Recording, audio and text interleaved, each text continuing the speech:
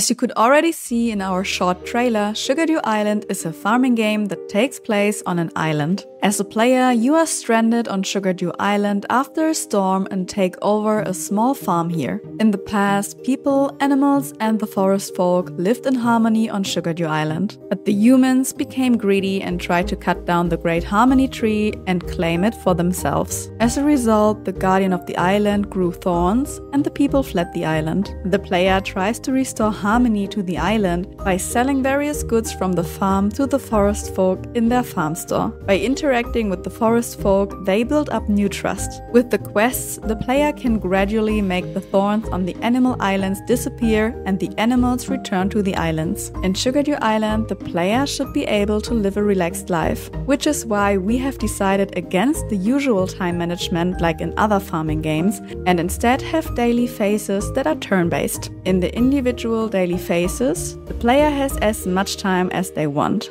Before you open the store, it's morning. While the store is open, it's midday, and when the store is closed, it's evening. The player can switch to the next day by going to bed. This decision was deliberate in order to remove a stress factor and make the game as relaxing as possible. We hope you enjoyed this little insight into our game. Best wishes to the Pillow Forts community, and the Sugardew Island team would like to thank you all for letting us be part of it.